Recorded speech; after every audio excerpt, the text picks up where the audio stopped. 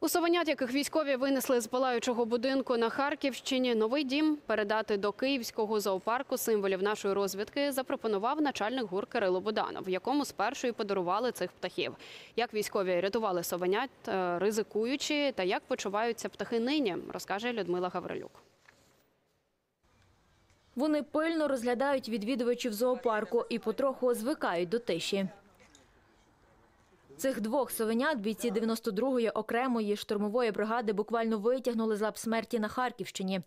На птахів натрапили випадково в одному з палаючих будинків, закритими в клітці. Було знайдено двох совенят в клітці. Наші дії.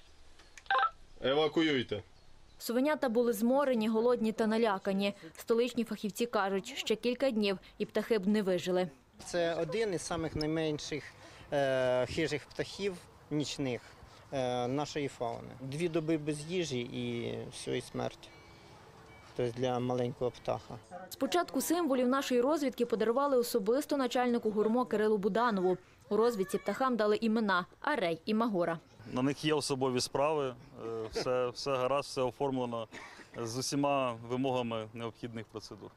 Українські воїни рятують життя, життя не тільки е, українців, людей, але й наших братів менших. Але згодом все ж передали у столичний зоопарк. Це позиція генерала Буданова. е, Це має бути спільна радість, і е, українські діти насамперед мають можливість спілкуватися із українськими совками. Ну і власне для птахів найкраще бути під наглядом фахівців. Зараз сови гуру вже обживаються у новій домівці столичного зоопарку. Я дуже рад тому, що, по-перше, хлопці спрацювали дуже класно, передали нам цих тварин, птахів.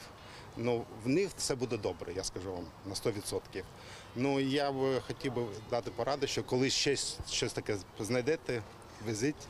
Ми реабілітуємо тварин, адаптуємо. Магура і Арей вже й самі адаптовуються, а надто до пильної уваги відвідувачів. Ось такі гарнюнькі. Одна, дві. А де три? Спецпризначенці дуже хотіли залишити совок собі у частині. Навіть думали облаштувати їм там домівку. Але спільно таки вирішили, птахам буде безпечніше під наглядом і спеціалістів, і маленьких відвідувачів. Людмила Гаврилюк, Євген Олінський. Ми Україна. Марафон. Єдині новини.